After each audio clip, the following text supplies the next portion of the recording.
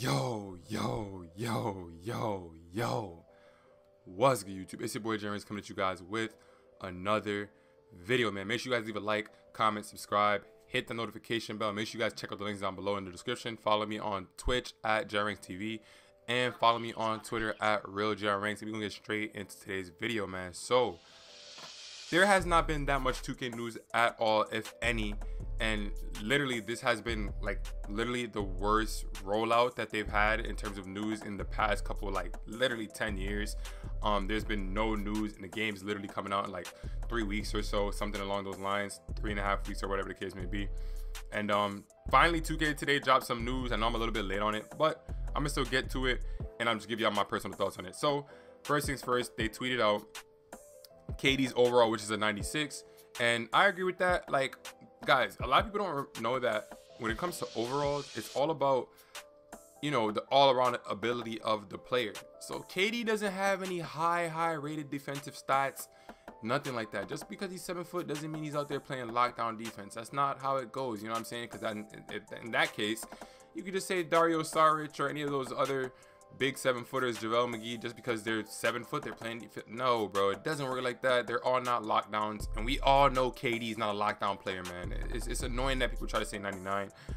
If you know how the 2K stats work, you know that you are not going to get a 99 if you're not a literal all-around player. You don't make any all-defensive teams. You don't get close to a defense player of the year. You're not going to be a 99. That, that's just the god honest truth. The only 99s in 2K history is it's been um, Chris Paul, Kobe Bryant, Kevin Garnett, LeBron James, Shaquille O'Neal. Shaquille O'Neal was actually the only 100 overall in 2K history because of his pure dominance and ability to still play defense. So yeah. Next up, they put Steph Curry at 96. Nothing with that. Why? Because obviously Steph Curry is Steph Curry. But then again, he's another guy. He's not a lockdown defender. He's not finishing in all defensive NBA teams. He just an all-time elite um, Hall of Famer scoring guard. You know what I'm saying? All-time shooter. So that's why he's a 96. Next up, we got Middleton at an 88, Giannis at a 96, and Middle or Jrue Holiday at 85. Now, for Middleton, I don't have a problem with that. I would have liked to see him be a 90 because knowing 2K, they like to hype players up. Anytime they have some great performances in the playoffs, they always get that extra nudge. I don't know why they didn't give it to Middleton. I guess maybe more so because of his inconsistency, because he's so inconsistent at times. One minute he has a bad game, next minute he's dropping 40 points. So mm, maybe 89. I would say 89 would be better for Middleton, just just under 90. Giannis at a 96. Mm, I think he should have been at least a 97. We all know Giannis can literally do everything on the court, but consistently knock down shots. And it's funny how people criticize Giannis for not being able to knock down shots. They criticize his flaws, but they don't like to criticize anybody else's flaws. Like supposedly KD's this player that just has no flaws. It's, it's hilarious to me. But yeah, I think Giannis should definitely be a 97, especially after the whole finals performance that he's had. He should definitely be a 97, 98. I'm just gonna say 97, just just because of the inconsistent jump shooting, outside scoring ability. I would say 97. Um, and I got nothing wrong with um, Holiday being at 85. Next up, we got the MVP Nikola Jokic at a 95 which is great because uh, great passer, great shooter, great post game, decent defense, some good rebounding. His defense is nothing spectacular. So yeah, if he was like a really really great defender like a Joel Embiid, then maybe he'd be like a 96. But then you know you know the defense doesn't make up for it. Next up we got Dame time, Dame Lillard at a 94 overall, which is good to me. Um, I don't got that much of a problem with it. Uh, you know, less efficient than Curry, even though he can shoot just as good as Curry in terms of like make those crazy shots.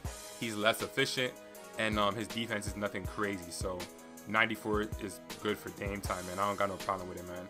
Um, we got LaMelo Ball at an 84. I think that's gonna be that's gonna go up through you know throughout the season. I think he's gonna have a big um, you know big sophomore year. Um, he's very very talented, man. Um, a lot of people didn't think he was going to be able to do it before the season, but you guys know how it is, man. Once a player does good, everybody gets on the bandwagon. If there's a little bit of uncertainty, everybody likes to say, oh, he's going to be trash. So, yeah, shout out to Melo Ball getting 84. Jayson Tatum at a 90. Uh, yeah, I don't got a problem with that. Maybe if they would have been able to have a nice playoff run, I would say like a 91 or something. But 90 is great. Jayson Tatum's a good defensive player, great offensive player. Nothing wrong with that. We got Zion Williamson at an 89. And I like Zion at an 89 just because um yeah, his inability of outside scoring and his, you know, he's not a crazy defender. So yeah, 89 is just perfect Zion. If he can get a little bit better defense and he could develop a jump shot over the course of his career, he's going to be in the 90s in no time. We got Trae Young at an 89. Mm, I didn't really like this one too much. I thought he should have been at least a 90, 91. He had a great playoffs, put up some great numbers. I don't know why that didn't warrant him to be a 90 at least, but I guess just the fact that his defense is just not good at all. They're just like, you know what, 89. So I got no, I ain't got that much of a problem with it. Next up, so yeah, the top 10 players is LeBron at 1, 96, KD at 2, 96, Giannis at 3, 96, Curry at 4, 96. So we got four guys that's all rated the same. Then we got Kawhi Leonard at a 95. We got Nikola Jokic at a 95, Joel Embiid at a 95, Luka Doncic at a 94. That's disrespectful. I think Luka Doncic should be a 95, 96.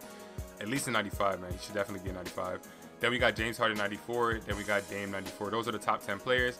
The top 10 three-point shooters, we got Steph Curry number one at a 99 rating, Klay Thompson 95 rating, Joe Harris 90 rating, Seth Curry 90 rating, and Duncan Robinson 90 rating. Next up, we got top dunkers, Zion Williamson 97 dunk, Zach LaVine 95 dunk, Aaron Gordon 95 dunk, Derrick Jones Jr. 94 dunk, Ja Morant with a 94 dunk. That's crazy. Um, crazy good. I'm saying, you know what I'm saying. Then we got some Spanish, top Spanish players, top French players. I'll leave all the screenshots there as I say them so you guys can see them. Top German players. Um, we got Zach LaVine at an 87, uh, which is you know cool. Maybe 88 would have been great. Uh, Domantas or I forgot how to say his name, but Sabonis 86. We got the top ANZ players. I'm assuming that's Australian, New Zealand players. Then we got uh, some irrelevant player. Not, I ain't gonna do him like that. Steven Adams at the 79. So, yeah, guys, those are you know those were the, all the things that 2K dropped today. Not the news that we really want to hear, but it's news nonetheless. It's better than nothing, but it's still unacceptable that 2K is this deep. But at the same time, guys, we've been you know we've gone through a pandemic. You know they've been working on the game from home. So guys, I'm not even gonna lie to y'all. Y'all, y'all, y'all gotta expect 2K22 to not just not be good, bro. Like, if they can, if 2K can pull this off and make the game be good, I'd be actually shocked. Like, I'm not gonna lie, I would be shocked because they've been working from home. This is the first time in like 10 years that they have dropped minimal news, barely any news regarding to the game. So it's it's, it's kind of hard for me to believe that they're gonna end up dropping a product that's gonna be great, especially since in past years in 2K, it's been a trend almost every year for the game to have bugs. And this is not even during a pandemic. So if there's no pandemic and they're just sitting there and they're um, making the game and it still had bugs, imagine when there is a pandemic and they're still recovering from it and they're working from home. You know, all these things that are playing in. It's not looking good for 2K at all, bro like I said before, do not buy the game unless you are a YouTuber or a content creator or someone that's gonna give feedback.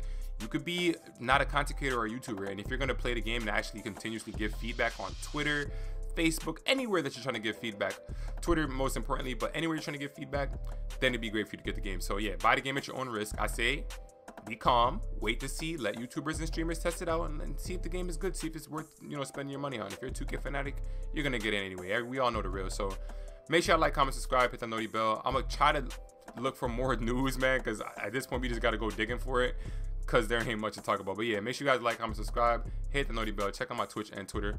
Both links are down below in the description. But that's pretty much it, man. It's your boy John Ranks, and I'm out, y'all. Peace. Gang, they cannot do it like him. Uh huh. Nobody shooting like him. Eh, gang, nobody doing like him. That nigga hate everyone cause he broke, and that's why nobody like him. Gang, SD Glow, now he talking this shit.